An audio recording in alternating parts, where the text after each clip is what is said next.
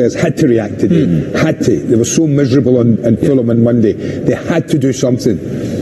We're in Newcastle, I think, next week. Now that, to me, will be a much better way to assess that how Aston Villa sit mm. and hmm. where the players feel. You were always going to get a reaction today, Richard, but let's see if they go to St James's and perform the same way. I'll try to.